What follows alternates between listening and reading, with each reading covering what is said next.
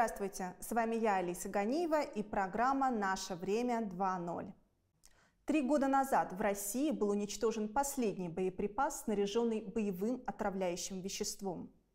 Тем самым была поставлена точка в выполнении нашей страной обязательств Конвенции по разработке, уничтожению, накоплению и производству химического оружия. А тем временем на международной арене разгорелся скандал в связи с отравлением оппозиционного российского политика Алексея Навального ядовитым веществом «Новичок». О том, что такое «Новичок» и какое химическое оружие сейчас существует и, возможно, даже используется мировыми спецслужбами. Об этом расскажет мой гость Игорь Никулин, микробиолог, бывший член комиссии ООН по биологическому оружию.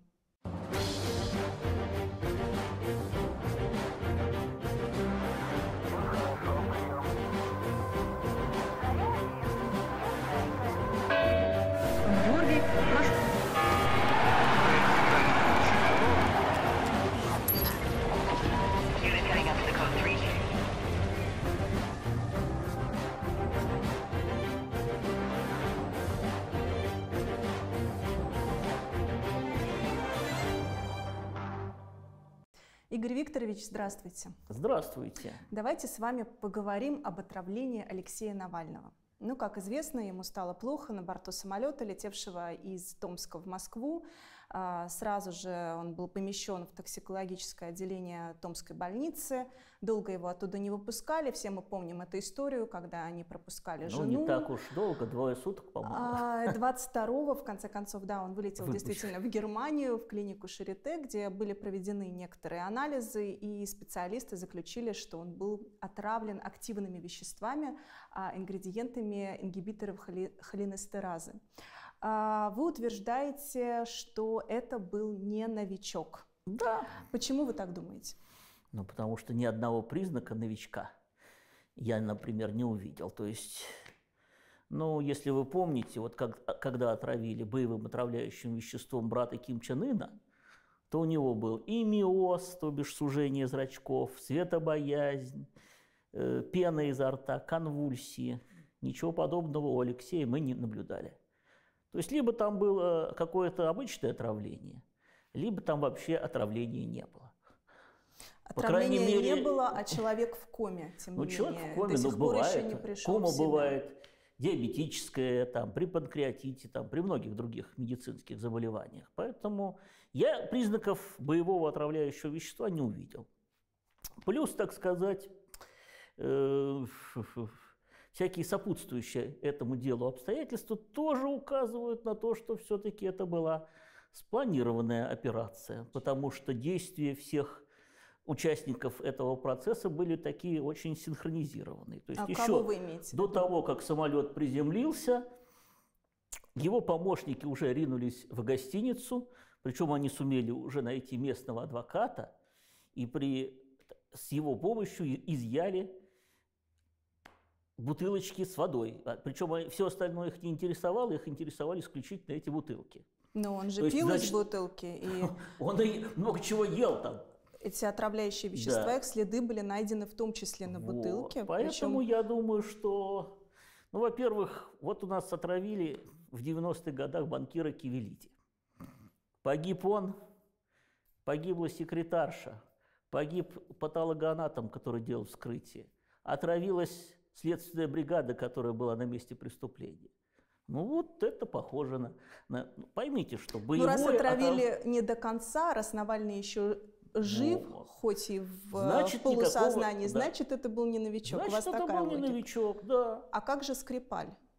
Между а прочим, Скрипаль... ни Скрипаль, ни Юлия Скрипаль, ни еще один отравленный а, мужчина не погибли. Погибла только женщина, британка, которая да. опрыскала себя всю буквально да, этим вот составом. Именно. Причем она почему-то погиб... была не в Солсбери, а в Эймсбери. Это за 40 километров. Совсем в другом месте. Как она ну, Значит, новичок такой слабенький яд, он травит не до конца? Нет, я думаю, что это просто не новичок. Вон а... этот э, Ринг, создатель новичка, вообще сказал, что у Скрипалей явные были признаки отравления фентанилом. Это вот нарко... опиоидным наркотиком. Поэтому ему вот здесь вот вскрывали трахею, чтобы они могли дышать, потому что там как бы непроходимость горла. Так что там тоже признаки не совпадают. Ну, во-первых, да, то есть каждый участник всей этой, всего этого представления, назовем его так, знал свой, что ему делать. То есть помощники побежали изымать вещественные доказательства. А самолет... что вы находите странного в совершенно логичес... логичном действии помощников? Ну, поймите, если... Политика, который был в зоне риска Ну, я понимаю, многие что годы. политика. Ну, как-то очень они делали, очень оперативно. Ну, А поймите, должны что... были терять время и ждать, пока он умрет? Ну, во-первых, реакция, так сказать, обычного человека на такую ситуацию чаще всего бывает ступор. Ну как, твоего вождя отравили.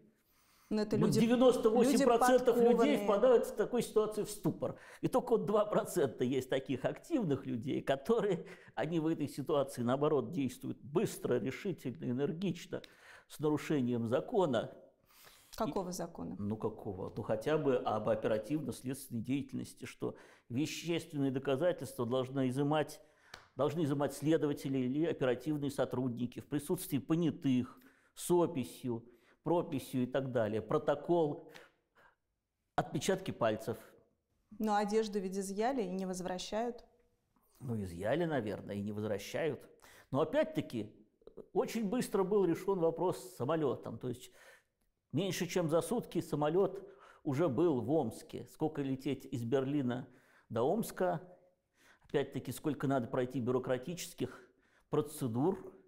Буквально за неделю до этого в германской прессе появились первые публикации о боевых отравляющих веществах, то есть там готовилась почва. Так что тут э, все действия были очень синхронными. И это говорит о том, что в отличие от действий наших правоохранительных органов, которые явно такого оборота не ожидали и долгое время пребывали в некой такой прострации, вместо того, чтобы тут же допросить всех участников, позволили этой девушке, которая его сопровождала, улететь с этой бутылкой. Опять-таки девушка тоже профессиональная, очень подготовленная. То есть она профессиональный биотехнолог, умеет обращаться с сильно действующими ядовитыми веществами. Так что она первая подозреваемая. Ну давайте Если для, бы я его сопровождал, то я был бы первым для начала разберемся, что же такое группа ядов новичок, в чем Давайте. особенность этих ядов.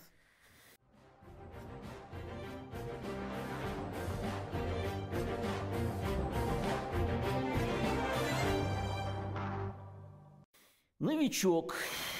И вообще в э, ни в Советском Союзе, ни в России этот термин никогда не употреблялся. Это термин э, западный из британского какого-то сериала, который был в начале нулевых. Прошел по BBC.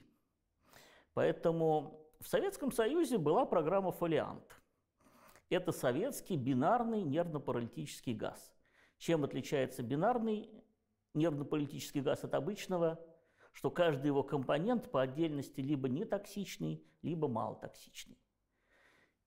И только в момент взрыва получается вот эта вот боевая смесь, которая там один грамм способен отравить тысячу человек. Не было взрыва, не было и новичка. Относится это к группе ингибиторов холинестеразы? Да к, к ингибиторам холинестеразы очень много медицинских препаратов относится. То есть тут главное, так сказать, вызвать...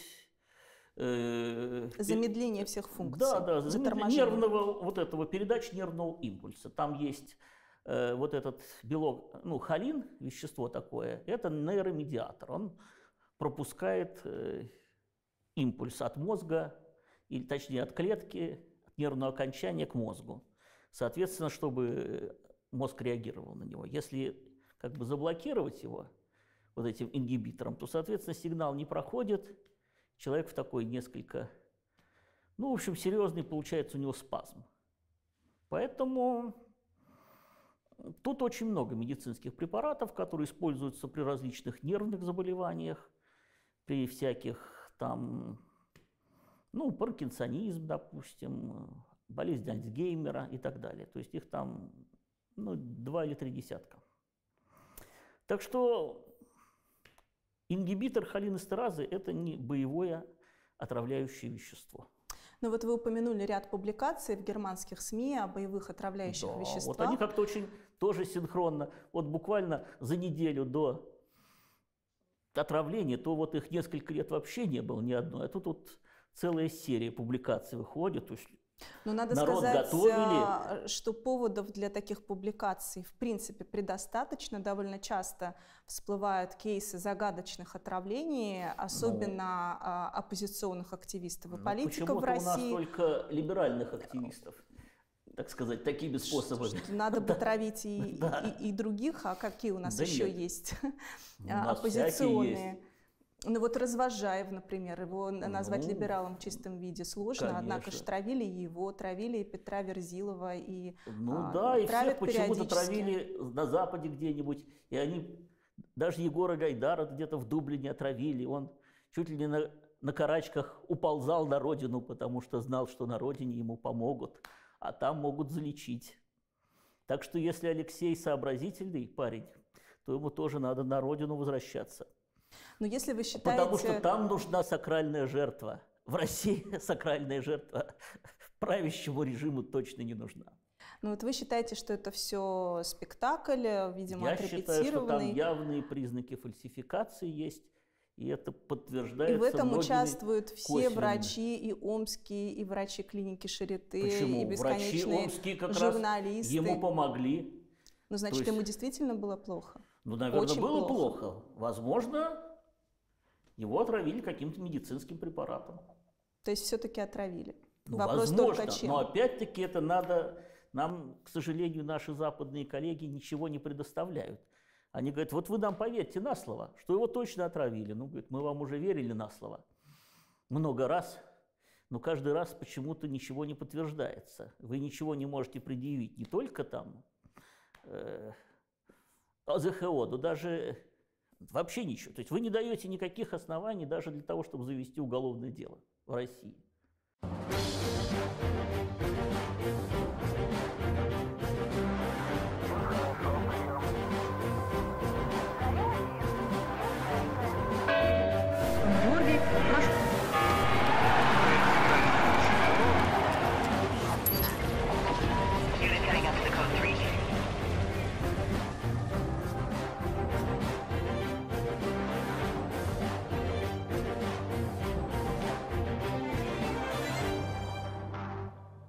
Телеканал «Совершенно секретно» рекомендует ключ, офисы и сервис.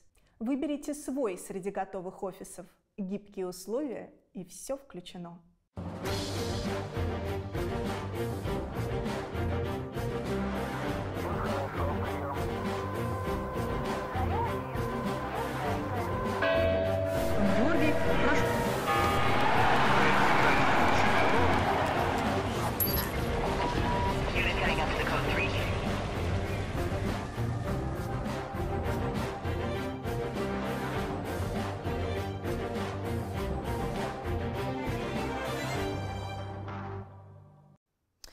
Ну, мы все знаем, как э, проходят судебные процессы в России и э, какой может быть исход у такого уголовного дела, поэтому, в общем-то, Ну, сомнения, в принципе, не Хорошо, потом, беспочвенны. по- потом-то, если вас не устроит э, исход уголовного дела в России, там и суд, пожалуйста, передавайте его в суд по правам человека, в Гаагу, пожалуйста, если у вас есть доказательства. Но у вас нет доказательств.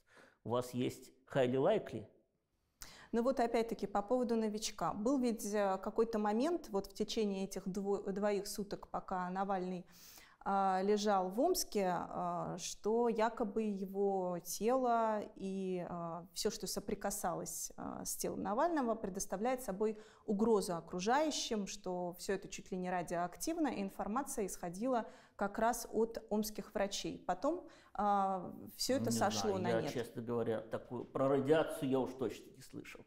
Ничего. Если это радиоактивно, так это совсем другое дело.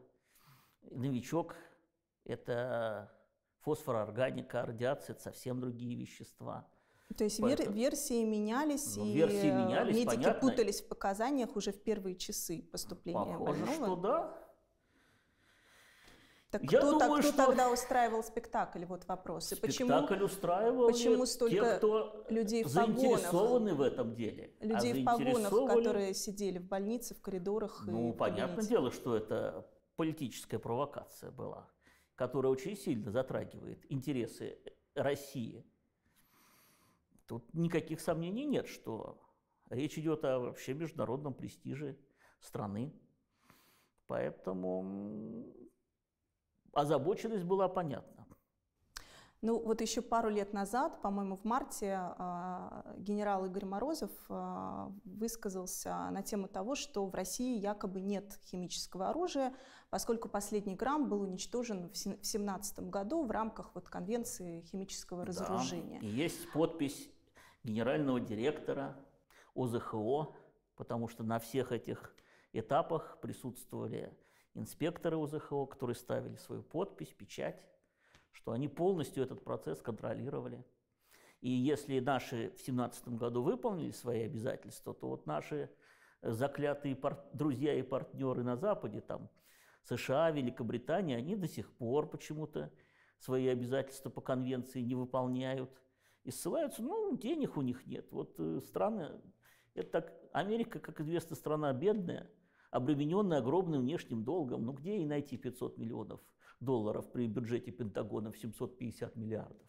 И это крайне сложно, сложная задача. Вот обещают теперь к 2025 году закончить. То есть они отравили, они утилизировали то, что у них, как говорится, истекло сроки годности. А вот, вот как раз боевые вещества бинарного типа, которые могут храниться там и 20, и 30 лет, они все их сохранили и на всякий случай придерживают, видимо, надеются где-то применить.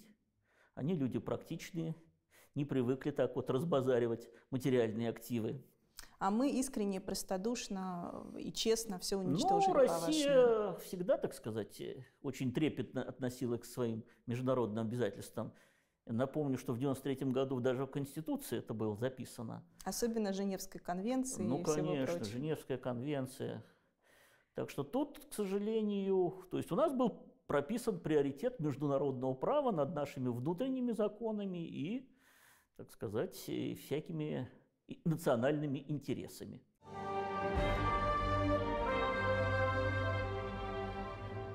Но еще в 90-е годы, в начале 90-х в московских новостях выходила большая статья журналиста Вилла Мирзаянова, которая называлась «Отравленная политика», и он там вот рассказывал в он, частности про он эти никакой яды. не журналист, он э, соучастник Ну, всего один из этого разработчиков, безобразия. да. ну даже не, разра- не разработчик, то есть его не было в списке номинантов государственной премии. В 91 году в Советском Союзе была одна из последних государственных премий выдана именно вот за создание вот этого бинарного нервно-паралитического газа.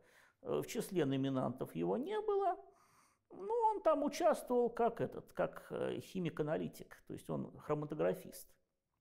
Он следил за тем, что, чтобы, грубо говоря, ни одна молекула не улетела в воздух этого отравляющего вещества. И поэтому даже его нарабатывали в Узбекистане и там же испытывали на плато Устюрт.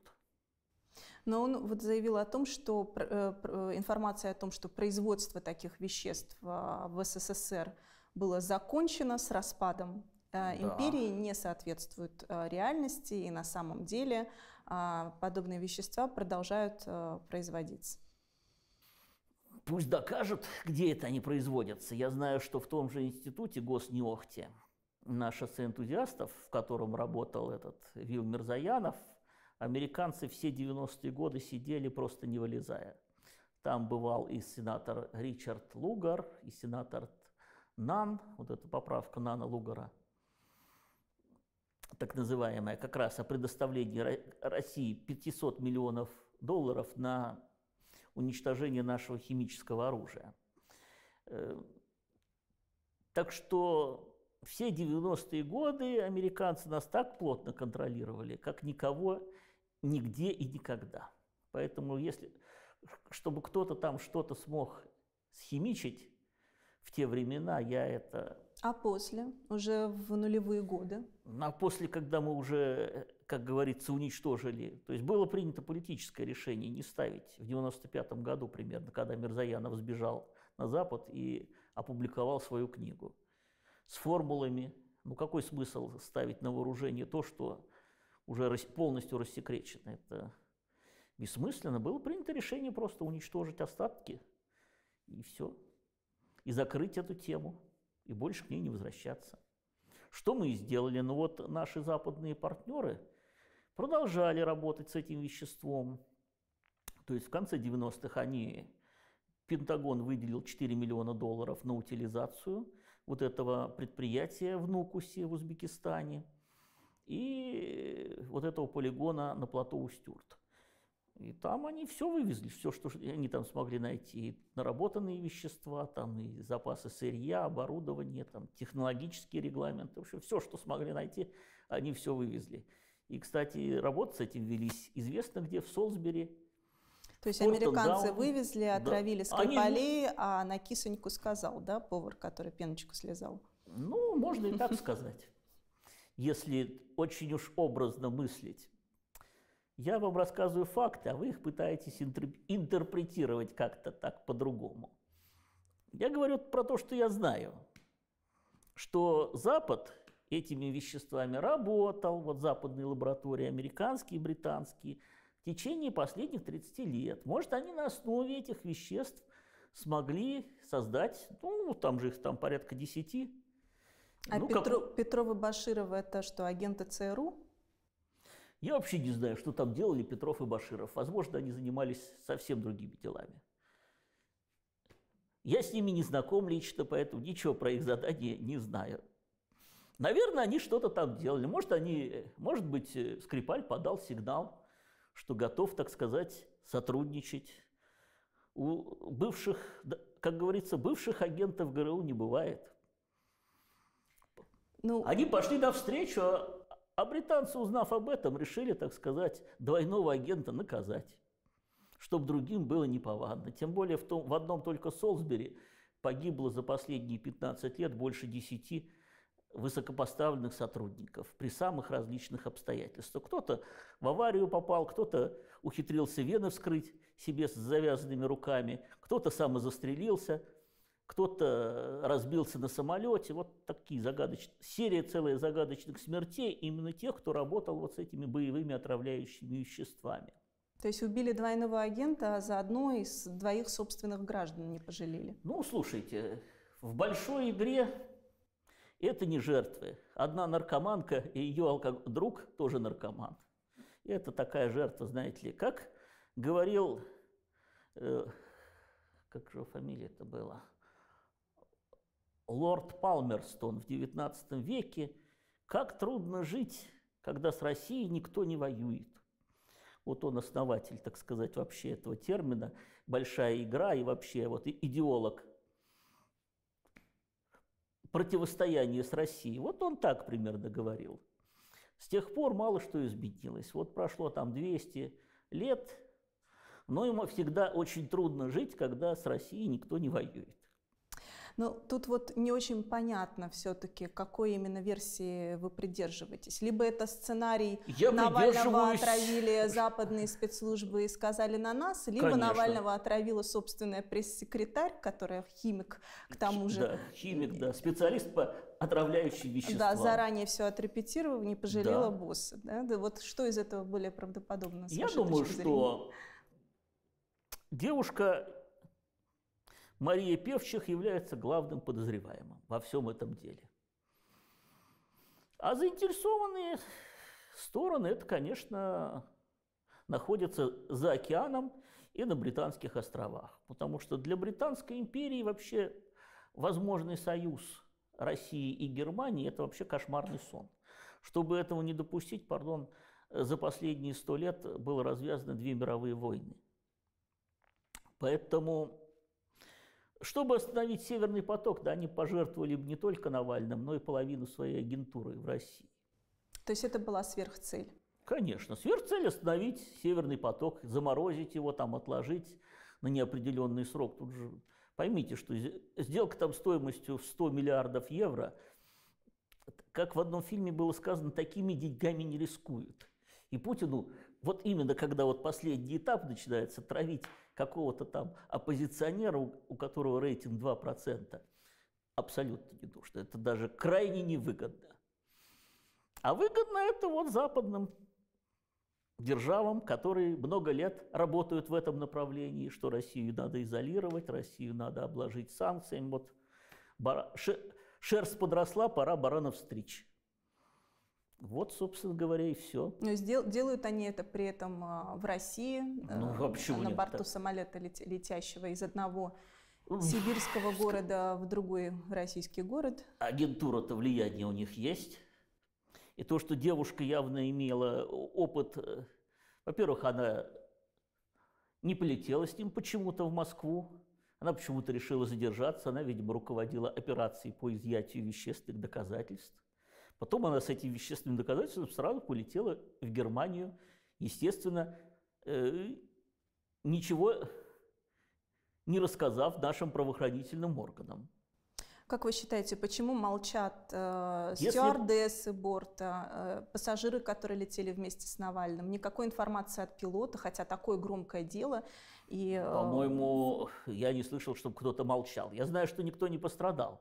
И это вот еще раз подтверждает версию, что все-таки это был не новичок. Что угодно, но не новичок. То есть какое-то спецсредство, скорее всего. И, скорее всего, западного производства. И именно поэтому они нам его не покажут и не расскажут. Скажут, да, мы точно знаем, чем его отравили, потому что мы его и отравили. Но в этих самых НИИ, которые разрабатывали фолиант да, или Да, э, фолиант. новичок, а, многие работники, научные сотрудники этих институтов ведь потом а, остались не у дел, без работы. Кто-то эмигрировал. Могли они захватить с собой рецепт яда? Ну, во-первых, рецепт захватил Вил Мирзаянов и опубликовал его в книге, что, в общем-то, дало возможность многим странам синтезировать эти. Даже такая страна, как э, Чехия, э, Швеция, Германия, Великобритания, все имеют вещества из этого списка. Даже Иран там несколько веществ сумел синтезировать по этой книге. Поэтому он, в общем-то, выдал важнейшую государственную тайну. И в другое время, конечно, его бы как изменника Родины судили. Но вы знаете какие-то реальные кейсы отравления э, новичком или ядами из этой группы? Ну, нави- Какое должно быть действие? Как себя ведет отравленный? Отравленный, во-первых, у него сразу же первый признак – это миоз, сужение зрачков, светобоязнь, судороги, пена изо рта и паралич. И он погибает в течение пяти минут, если ему не сделать укол антидотом. Но тут использовать э, вот такую эффективную дозу было бы невозможно. Вот на месте отравителей а, надо было бы выбрать какую-то половинчатую или там 25-процентную Да как, дозу, не- чтобы Не 25 Навальный а одну сотую какую-то успел процента, сесть да. на самолет, пройти Нет, регистрацию Скорее всего, вот есть, и не спастись уж, уж есть точно. сведения такие, что вот с этими, то есть в том же Солсбери работали с микрокапсулированием вот этих ядов. Если яд упаковать в микрокапсулу, то человек, допустим, пьет воду с этой микрокапсулы, там вообще там какая-нибудь одна э, десятая миллиграмма. И там через несколько часов, когда микрокапсула в желудке растворяется, начинается действие. Вот теоретически возможно таким образом, но опять-таки это спецсредство, которым владеют только спецслужбы.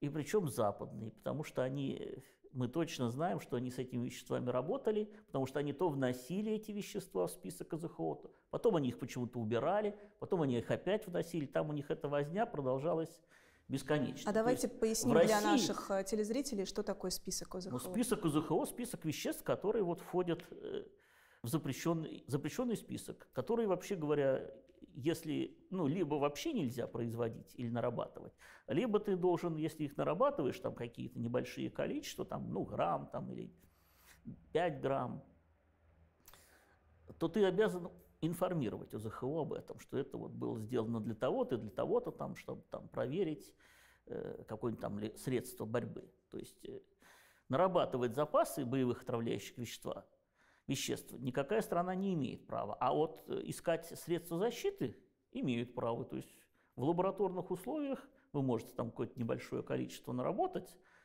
проверить там, условно говоря, на мышах. А кто входит в это общество контроля за химическим оружием? Ну, входят э, специалисты Из разных стран? из разных стран, конечно. То есть там находится в Гааге, то есть создано решением Организации Объединенных Наций. Естественно, там эксперты высококвалифицированные, со всякими там кучей дипломов и регалий. Ну и есть специальные лаборатории, с которыми они работают, в которых там в сложных случаях там обращаются. Unit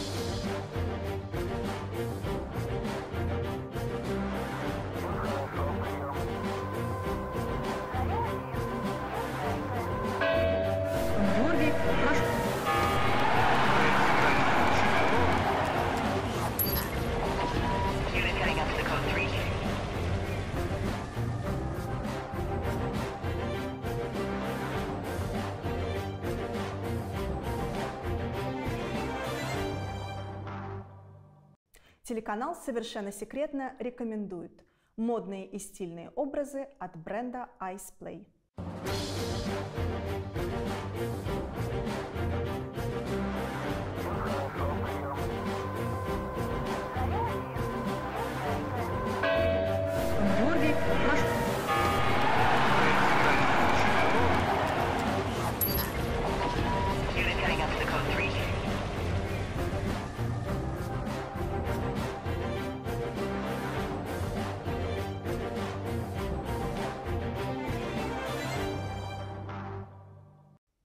Зачем для отравления одного человека использовать такие сильные военные секретные а, составы? Абсолютно незачем. Поэтому я и говорю, что это какая-то э, фальсификация. Ну, ли- либо такое вот демонстративное отравление. То есть бывает отравление демонстративное, чтобы вот все видели, что этого человека, грубо говоря, наказали. А может быть, по принципу бритвы Оккама э, гораздо логичнее заключить, что это некомпетентность наших спецслужб? Ну, некомпетентность наших спецслужб. Но мы все видели Баширова и Петрова, Ну и что? Ну, видели мы. А где доказательства, что они которые против- даже не смогли себе алиби разработать. А при чем тут правильно? алиби? Сейчас есть современные, так сказать, мы живем в эпоху информатизации, когда человека можно отследить по телефону, все его передвижения, где он был э, такого числа в России, где он был э, в Лондоне, где он был в Солсбери, там еще где-то. То есть человека можно полностью отследить все его передвижения. Да, что они там делали, мы не знаем. Что они, возможно, сотрудники, я допускаю. Но никаких доказательств, что именно они отравили Скрипаля, или тем более, как британцы рассказывали, мазали ему ручку дверей. Если бы они намазали ручку дверей, то там было бы, погибло бы все, кто вокруг был. Там и, и птицы, которые пролетали бы мимо, То есть такой и сильный животные. яд. Ну, конечно. ну Даже однопроцентный состав Конечно. имел бы такой эффект. Конечно, вы что? Это, ну там одного грамма достаточно, чтобы все, весь Солсбери отравить. Но вот вы говорите, что на Западе а, много таких реальных активных действующих разработок. Да. Вот о каких ядах идет, идет речь? Известно или это все Ну, там е- э, есть так называемые спецсредства. У каждой спецслужбы они, естественно, свои, они никогда их не раскрывают. И поэтому, чем отравили Алексея Навального или Скрипаля, мы вряд ли когда-нибудь узнаем. Вон британцы 200 лет назад э, организовали убийство российского посла в Иране, Александра Грибоедова. До сих пор засекреченное дело. Так что думаю, что придется долго ждать, пока они это дело рассекретят. То есть, э, ну, по, по сути, главные ваши аргу- аргументы отсутствие э, суж- сужения зрачков, да? Су- Сужение зрачков, отсутствие судорог, отсутствие пены изо рта. То есть это не фосфорорганика. То есть и, и отсутствие потерпевших, пардон. Мы видели, что ребята, которые забирали эти вещественные доказательства, якобы отравленные, были в перчатках, даже без противогазов, без масок. Нет, маски какие-то у них, по-моему, были, но они ходили, пардон, босиком по номеру. И никто из них решительно, никто не пострадал. Поэтому, скорее всего, следы новичка были или вещества из группы новичка, как они правильно говорят, потому что это не новичок, это вот вещество из группы новичок. Какая-то которое- десятая итерация, может быть, очень слабая, с индивидуальным воздействием. Нет, это вещества, которые малотоксичны, которые, скажем так, ну не токсичнее какого-нибудь дихлофоса обычного. То есть А, это- а в, а в список оно входит. То есть каждый из них по отдельности, оно в список входит. Но чтобы получился вот этот коктейль Молотова, должен произойти взрыв. То есть есть просто коктейль, которым там можно, он может даже немножко гореть, э, потому что там есть спирт. А есть коктейль Молотова, которым можно танки поджигать. Вот разница примерно такая. То есть вещество из списка, оно там может быть вообще не очень токсичный, действительно его как-то там упаковали в микрокапсулы, если там тем более девушка-токсиколог, специалист по токси- бо- боевым отравляющим веществам, которая умеет уходить от камер наблюдения, от, право- от контактов с правоохранительными органами, избегать. То есть она явно прошла подготовку определенную. Так что это не просто, видимо, девушка, это девушка-спецагент.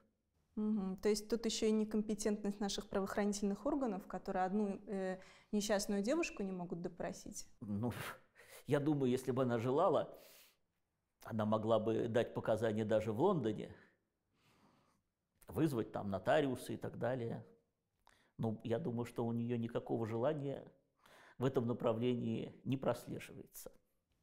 Но у вас э, есть какие-то прогнозы? Будут ли еще подобные случаи отравления российских Ну, а, оппозиционеров, если звезды а, зажигаются, значит, это кому-нибудь нужно. А нужно тем, кто хочет против России внести какие-нибудь там новые санкции по любым поводам. Поэтому все возможно. У британцев э, многовековой опыт отравлений. Это вот просто фирменный стиль рыцарей плаща и кинжала. Они еще русских царей Рюриковичей травили. И Ивана Грозного, и отца его Василия, и деда его Ивана Третьего, и обоих сыновей, и Ивана, и Федора. У всех в останках советские ученые нашли в больших, десятикратное и даже двадцатикратное превышение мышьяка и ртути. То есть британские лекари Ап- от всех болезней апеллировать к средним векам достаточно ну, страшно, хорошо, странно там, э, сейчас. Можно вспомнить там 20 век, Но в 20 веке и- устранение, допустим, того же Григория Распутина британскими спецслужбами. ну и наши советские ученые не, не Ну, и отставали. в тоже. 30-е У нас годы были 30-е у лаборатории нас с тоже, да, разработками. были такие разработки. Но так, это все, как говорится, когда цель оправдывает средства, то лес рубят, щепки летят. Когда Советский Союз боролся за мировую гегемонию, за мировую революцию точнее, тогда, конечно, всякие методы применялись. Вон, э, это у нас сейчас с врагами церемонятся, а тогда привозили в чемодане, судили здесь и расстреливали. Как многих белогвардейских там генералов, того же Кутепова и других. Сейчас, как вы знаете, таких методов, такие методы не применяются. Последнего, кого отравили боевым отравляющим веществом, на моей памяти был Степан Бандера, но это было, пардон, 60 с лишним лет назад.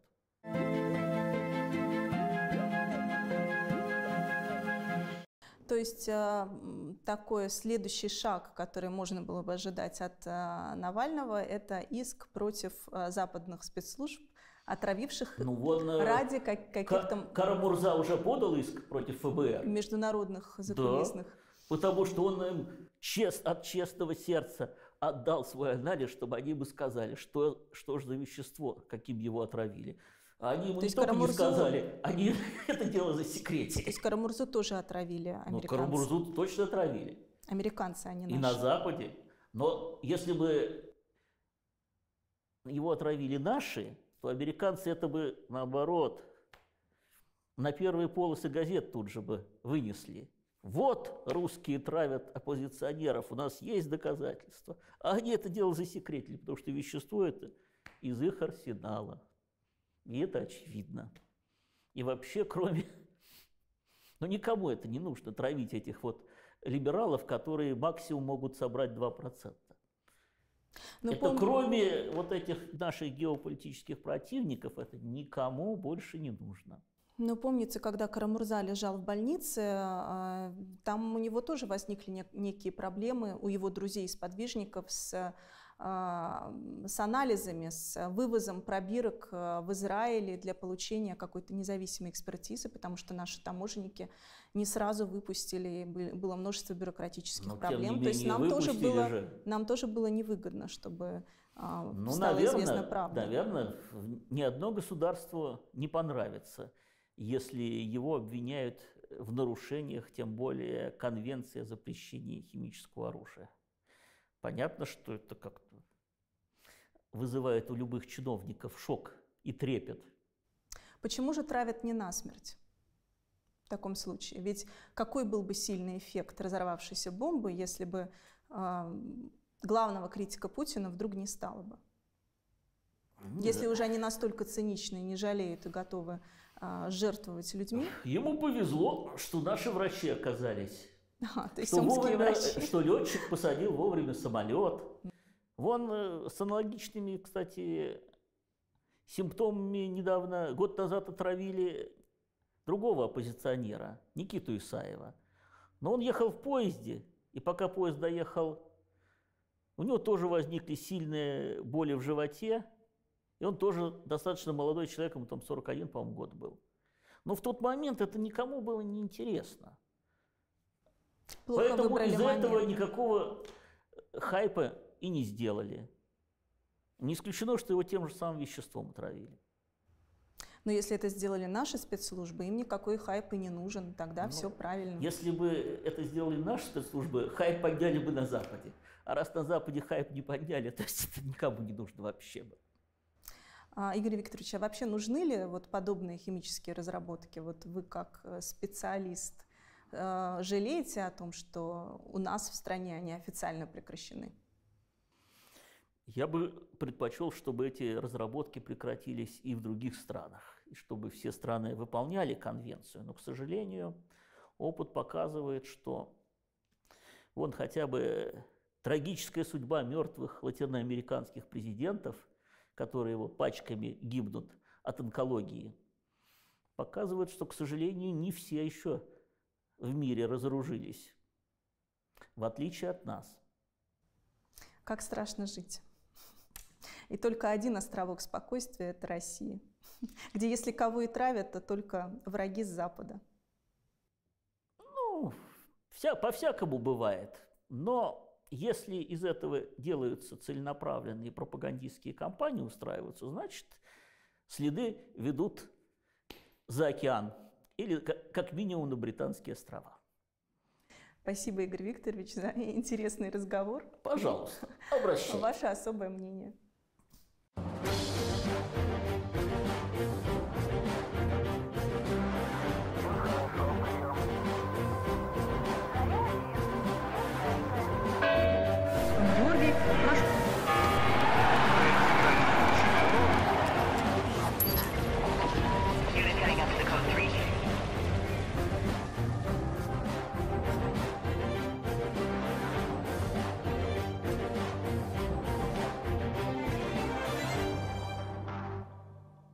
Вами была Алиса Ганиева и программа «Наше время 2.0». Всего доброго.